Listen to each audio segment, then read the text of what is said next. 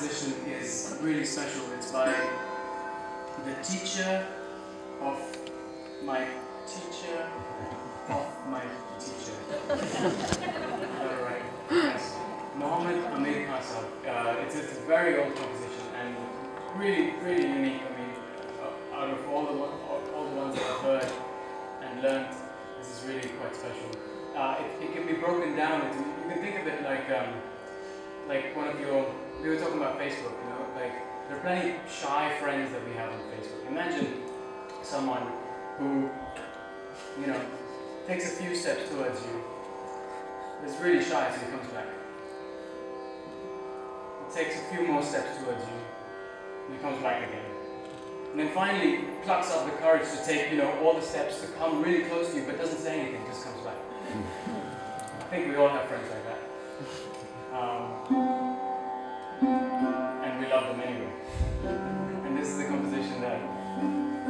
Is really special. So here, here, here are the kind of fragments of it. So it comes towards you.